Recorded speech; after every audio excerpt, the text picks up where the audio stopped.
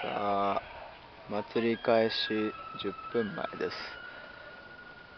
かなりいい屋台に乗っています。かなりいい屋台です。さあ今日の主役今日の主役の登場。シャキーン。ね来ました。今日の調子と主役。今日の調子はあんまり良くないあんまり良くない。超寝不足まずいね。俺も寝不足だな。4時まで起きてたのもうほんとちっちゃい頃以来。もう祭り終わりだな今日。終わり終わり。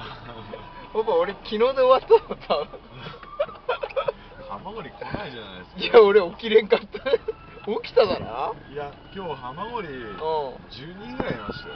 マジで、はい。え何あのまま起きてたやついんのじゃあ？えなんで若い子だけ？たくさん柳生くんえ何？ゆうやゆうやも、はい。嘘。でちさと龍太郎。マジで？とたけしとそんなに？祁答院ドリルじゃん。とあと龍太郎。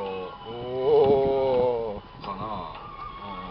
なんだ。であと柳生柳生純也もいました。え何？純也もいたの？あ純也もいましたよ。なんだよ純也。はい。なんで10人ぐらいで。え何？じゃあケットルいっぱいだろ。満一台？ですよ。一台で？あれめでしたよ楽しそうじゃん。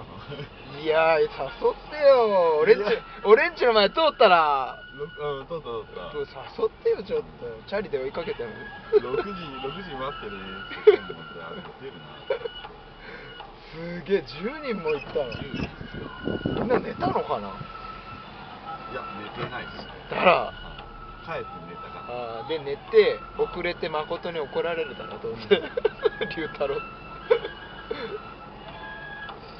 誠は早々に帰ったもんね。ら、2時ぐらいだよね。